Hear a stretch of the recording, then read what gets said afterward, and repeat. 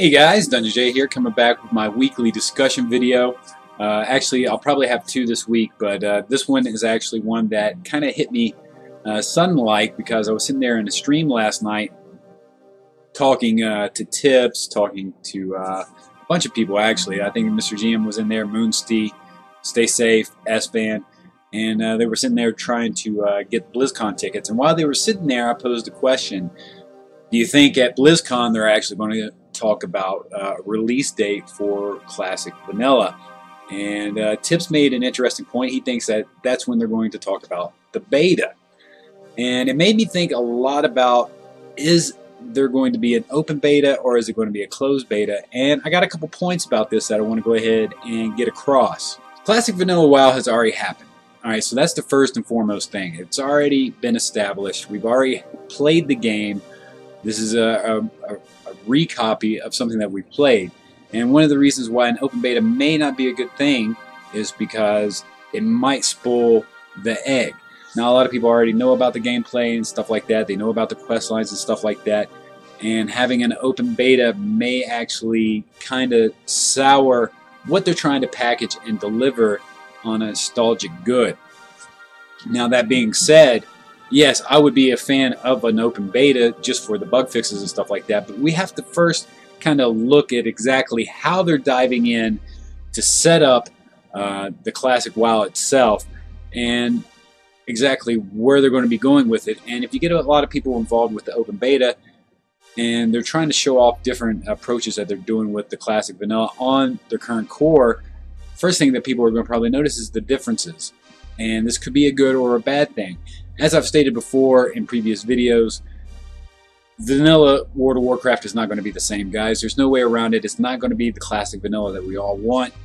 Um, you know, there's a lot of people on the fence about no changes or changes or whatever.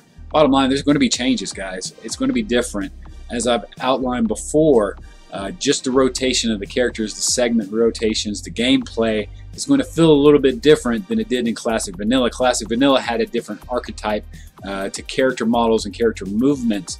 And when they import these in into the new core, unfortunately what's going to happen is it's going to be on a very faster and more streamlined process. And the number one thing that you're going to notice is that it's not going to be a one for one. You're not going to have a one for one for gameplay. You're not going to have a one for one for character model uh, movement. It's going to feel a little bit different. Now they're going to probably be able to anything that has a timer on it, they can emulate pretty much one for one. They can emulate the global cooldowns. They can emulate the, the, the speed of uh, you know uh, attacks and stuff like that as far as what they reflect. But what we see on the screen is going to be vastly different than what we saw on the classic vanilla client. Even if it's a 1.12.1, whatever the case, we're going to be on an updated course. So you might as well just go ahead and say to yourself, all right, so these are my expectations walking in. Number one, the uh, gameplay, the character models are going to look different even if they're the original character models. Okay, so even if they're the original character models, movement's going to be different, guys. Movement's going to look different. Movement's going to feel different. Even if they don't have the nice little billowing cape that we see in the modern World of Warcraft uh, on retail, we're still going to see differences in the smoothness of the playstyle and is that an improvement or uh, not an improvement? I don't know, guys. I mean, for me, it's an improvement, and I don't really mind it. But for some people, it may actually be an issue, and that's something that they need to be aware of. And that's going to be broadcasted if they do an open beta.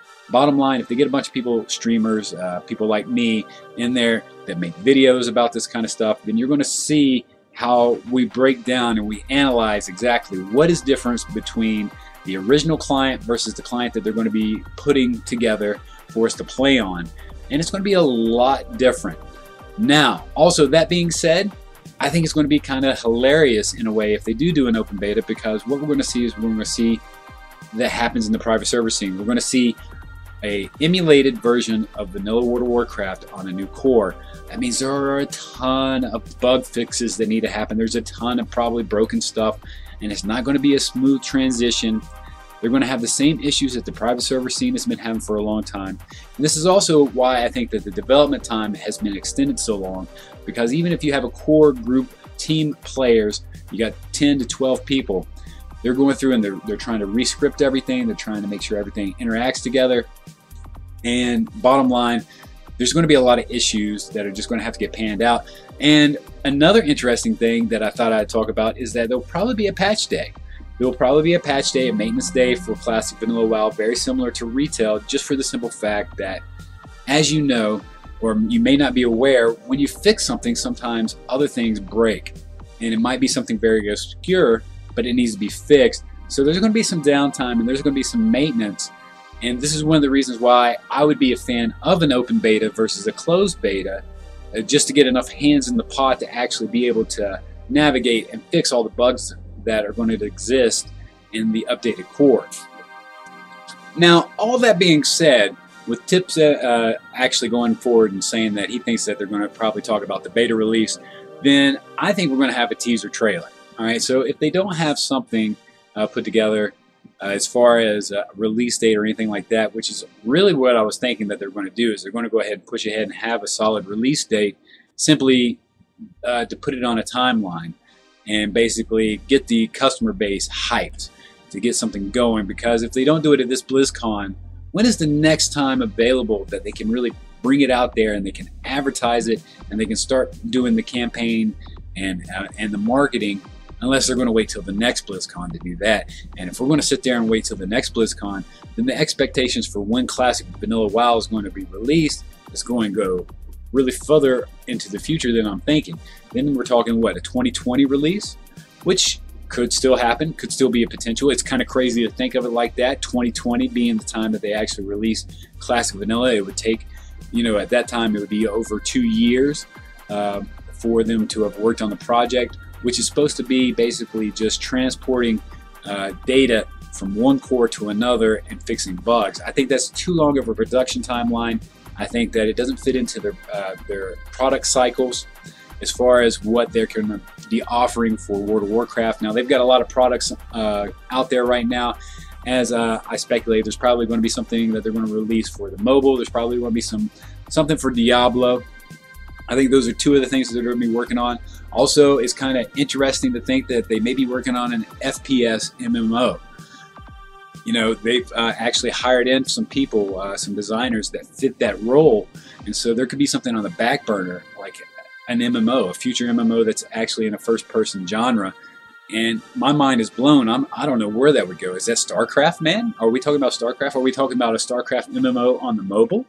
I mean, I know that they're interested in the RTS, but uh, an MMO of StarCraft would be like uh, really my hype level would go through the roof if that's actually the case. But anyway, that's beyond uh, exactly what I was bringing to this video today. Uh, what I'm really talking about is I think that it would be a good idea for them to have an open beta. If they do it at the BlizzCon, then that would be a good time to actually set it up. And I hope that the community can get involved. I hope it's an open beta. I hope it's not a closed.